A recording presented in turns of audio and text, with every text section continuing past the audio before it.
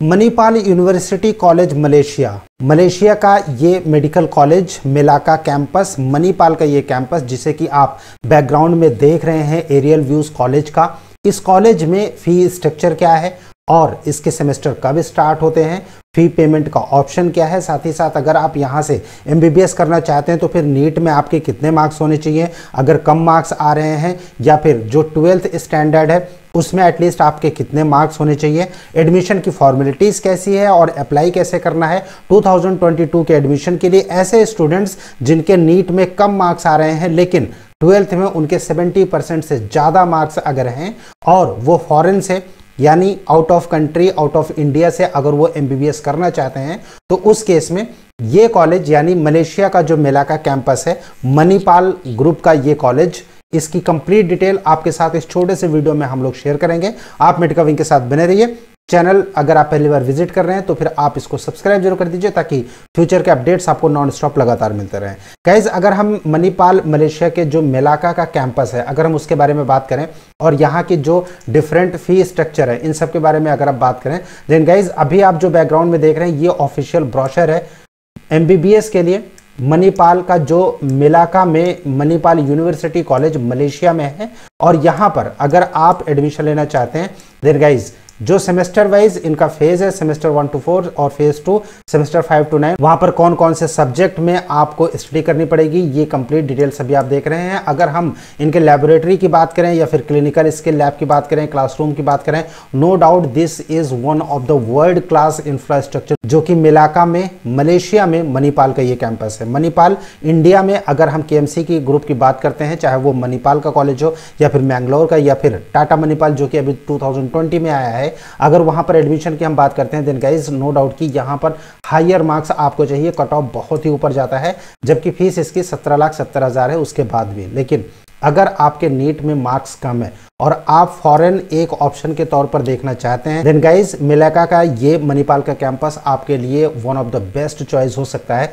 अगर आप यूएसएमएलई या फिर यूके में और यूएस में आप प्रैक्टिस करना चाहते हैं पोस्ट एमबीबीएस अगर हम फ़ीस स्ट्रक्चर की बात करें देन गाइस फ़ीस स्ट्रक्चर जो हम आपसे डिस्कस करने वाले हैं, जो कि ऑफिशियल ब्रोशर में मिलाकर के इस कैंपस के बारे में दिया गया है, जो कि आपका US dollar plus INR rupees में अभी आप देख रहे हैं बैकग्राउंड में। सबसे बड़ी बात है गाइज़ यहाँ पर सेमेस्टर वाइज आपको फ़ीस पे करना पड़ता है। और सेमेस्टर वाइज अगर हम फ़ीस की बात करेंगे तो यूएसडी डॉलर में, यानी यूनाइटेड स्टेट अमेरिकन डॉलर में ये 9,700 यूएसडी है। लेकिन इंडियन रुपीज़ में ये आएगा आपका approximately seven lakh twenty seven thousand five hundred rupees per semester total ten semester का आपको यहाँ पर पेमेंट करना है और ये टोटल फ़ीस आपकी इंडियन रुपीज़ में पहुँच जाती है approximately seventy two lakh seventy five thousand I N R यानी इंडियन रुपीज़ में।